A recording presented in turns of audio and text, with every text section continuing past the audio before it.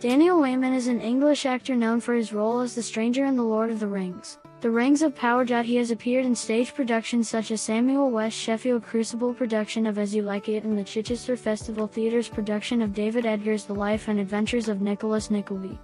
His portrayal of the title character earned him a nomination for Best Performance in a Play at the 2006 TMA Awards. He played Antipholus of Syracuse in the What'sOnStage.com Awards Best Shakespearean Production nominated The Comedy of Errors at the Open Air Theatre, Regent's Park in 2010.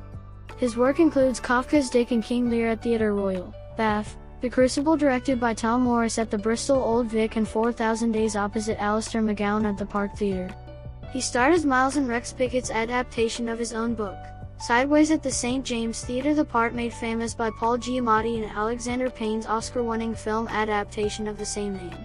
He earned rave reviews starring opposite Oscar winner F. Murray Abraham and Daniel Kehlmann's new play The Mentor directed by Lawrence Boswell which transferred from the Ustinov studio to the West End's Vaudeville Theatre.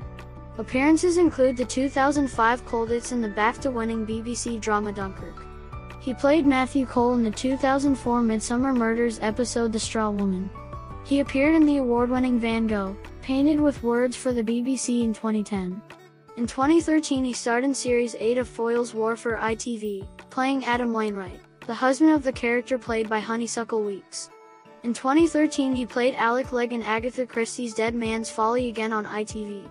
This was the last episode ever filmed by David Suchet as Poirot although it was the penultimate episode to air. In 2014 he reprised his role as Adam Wainwright in Series 9 of Foyle's War which was the last series produced.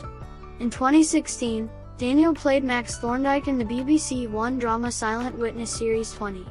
His character is the husband of regular character Clarissa Mullery. The new storyline was very well received and Daniel returned in Series 21. In 2018, Daniel appeared in Vera opposite Brenda Blethyn.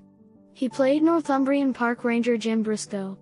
In 2020, he was cast as the stranger in the television series The Lord of the Rings, The Rings of Power.